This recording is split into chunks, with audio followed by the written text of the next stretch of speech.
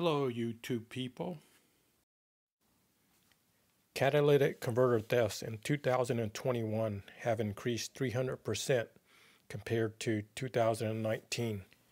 This is because the cats contain the precious metals platinum, palladium, and rhodium.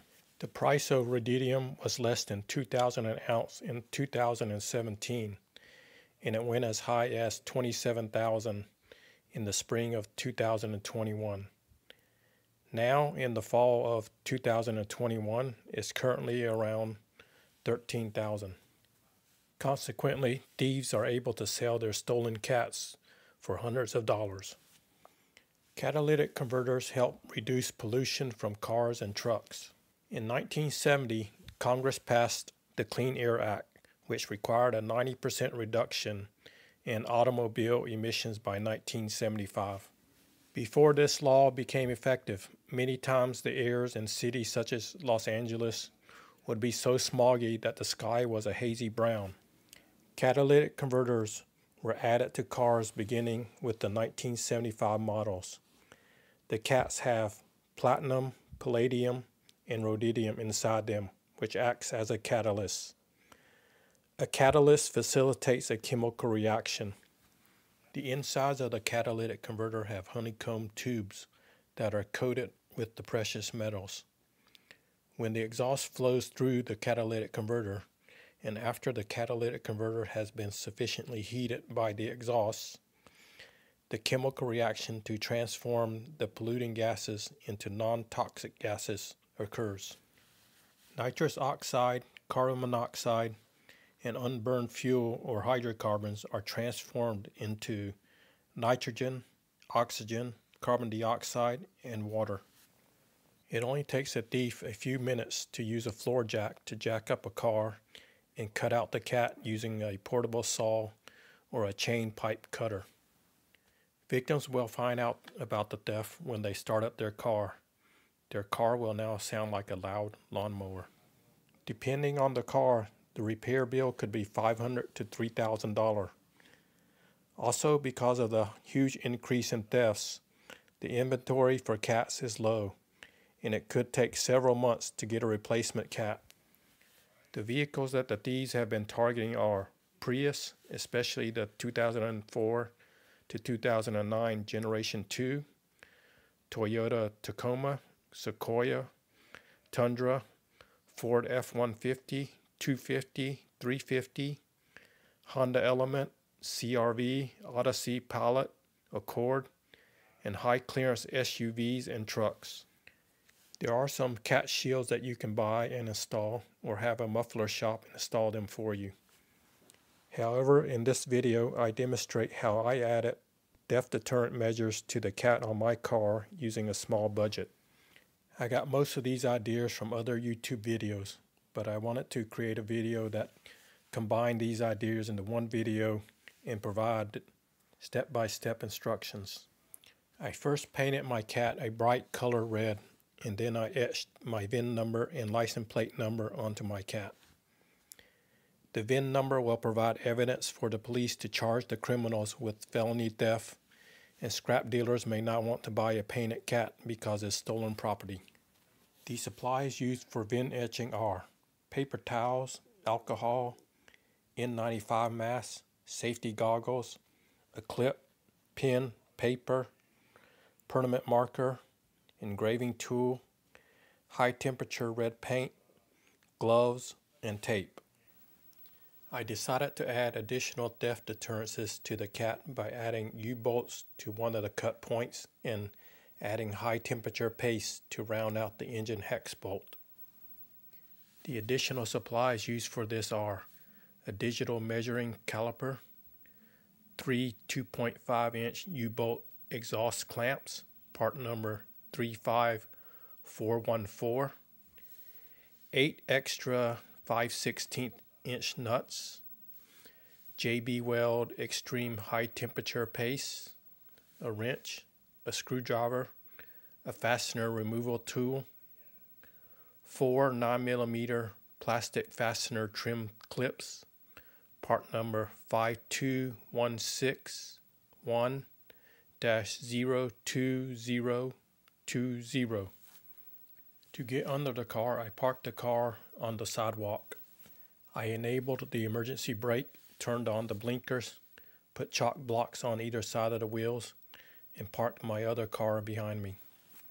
I taped over any OEM part numbers that were stamped on the cat. To prep the cat for painting, I used some paper towels and alcohol to clean the cat.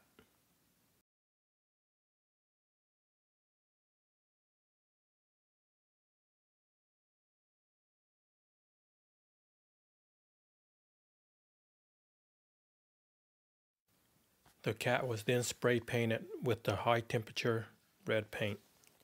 I also spray painted the second cat and the sub mufflers. I had previously practiced using the etching tool on a tin can.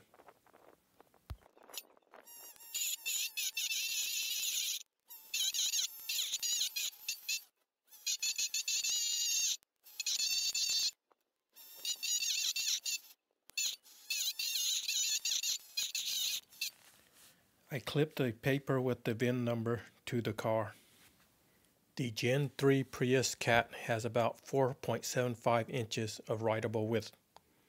So I split the 17 digit VIN number to two rows. I used a marker to write the VIN number on the cat.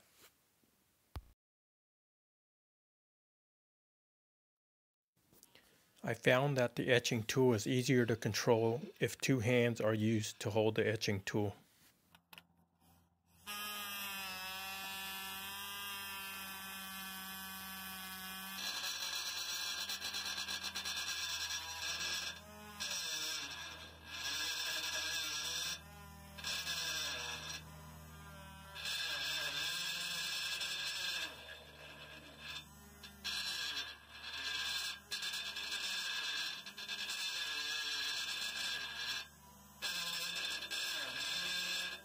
I used the digital caliper to measure the diameter of the pipe between the cat and the submuffler.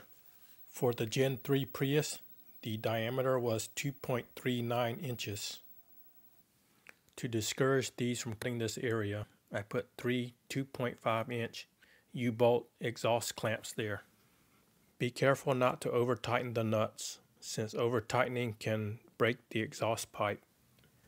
I added extra 5 16 inch nuts to the clamps and I put some high heat JB Weld paste on the ends.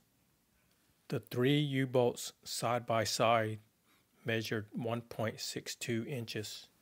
For additional protection, I rounded out the cat to engine hex bolt with the high heat JB Weld paste. I had to remove the heat shield so that I could etch the last eight digits of my VIN number onto the second cat that's nearest the engine.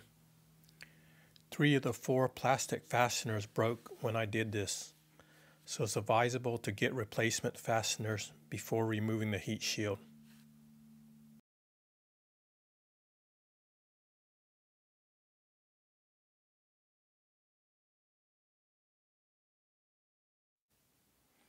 Also, be aware that dust and dirt will fall out when removing the heat shield.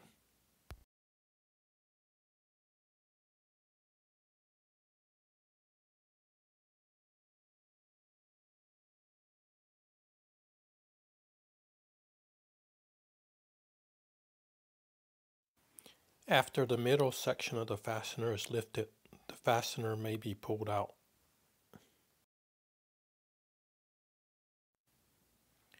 There wasn't much room to work with, so I had to split up the eight digits into two rows.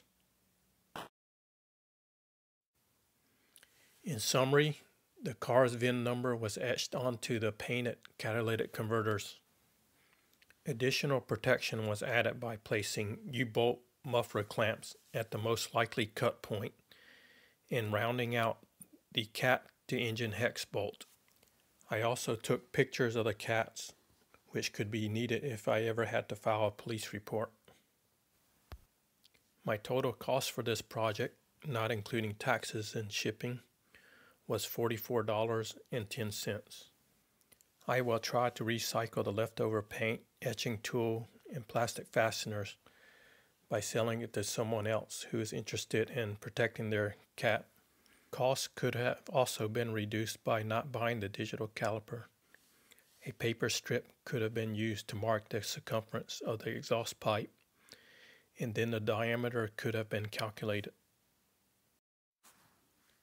In the description below this video, I've added some affiliate links to some of the supplies used for this project.